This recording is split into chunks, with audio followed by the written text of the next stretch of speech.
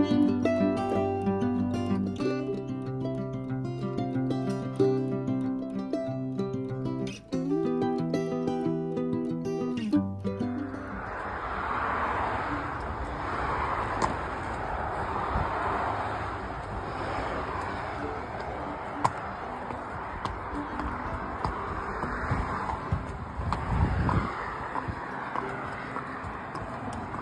is always terrifying because the cars go under.